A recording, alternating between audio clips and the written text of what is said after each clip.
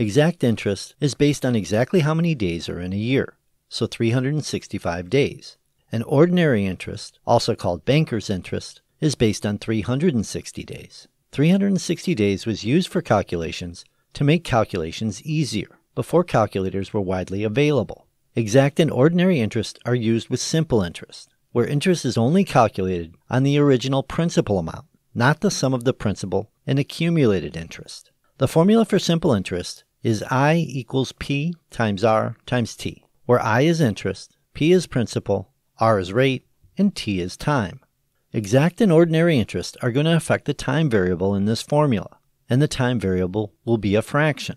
If you're using exact interest, time, or T, will be equal to the number of days in the time period over the number of days in a year. So, for exact interest, the denominator, the bottom number, will be 365 for 365 days. If you're using ordinary interest, time, or T, will equal the number of days in the time period over 360. So for ordinary interest, the denominator, the bottom number, will be 360 for 360 days.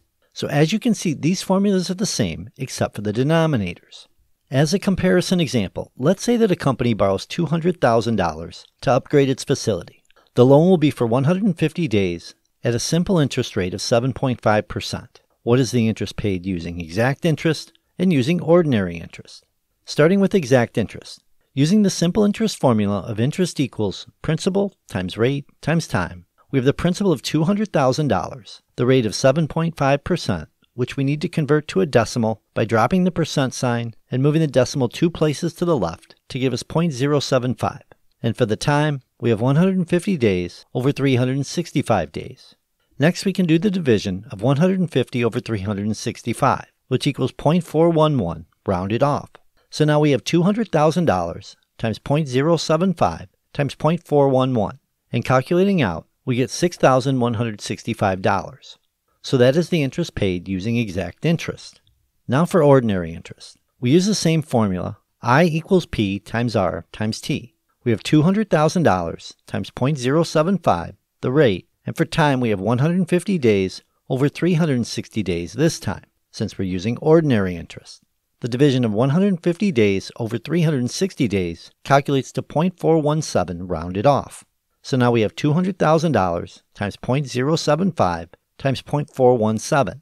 And calculating out, we get $6,255. So comparing, we have $6,165 in interest using exact interest and $6,255 using ordinary interest. So more interest using ordinary interest. And this makes sense because the fraction or decimal value for ordinary interest will always be slightly larger than exact interest because you're dividing by a smaller number, 360 days for ordinary interest. Here's another example on the screen for you of comparing exact and ordinary interest.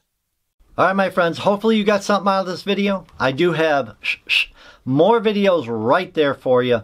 Till next time, I am out of here.